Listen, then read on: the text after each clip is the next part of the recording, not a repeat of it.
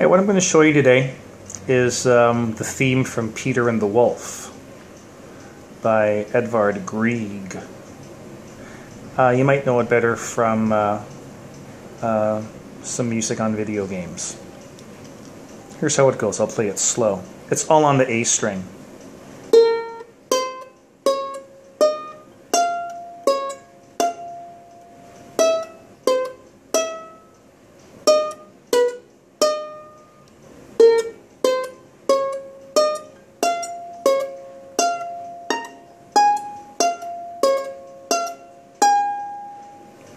So here's how you do it.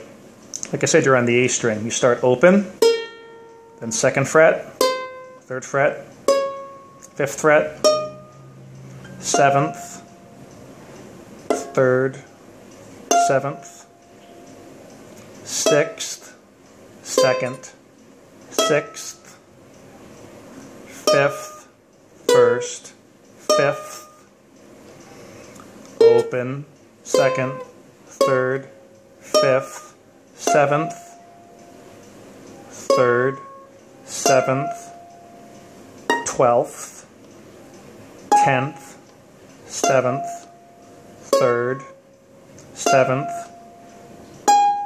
tenth. Okay? Try it, then try to build some speed with it.